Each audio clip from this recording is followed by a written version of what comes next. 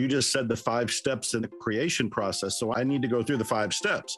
The I'm five Charles. steps are, are in the book, The Attractor Factor.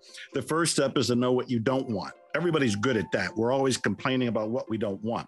But we use the first step to get to the second step. The second step is what do you want? So you change the first step, the complaint, into an intention.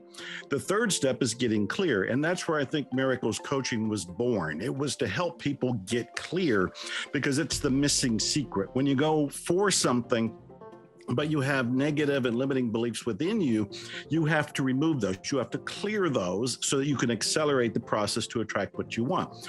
The fourth step is what you're calling Nevillizing. Neville Goddard was one of my favorite teachers. He talked about a particular way of attracting a miracle and was basically by feeling as if you already had the very thing you wanted. And the fifth thing is to let go while taking action. So you're letting go of your psychological attachment and addiction to something.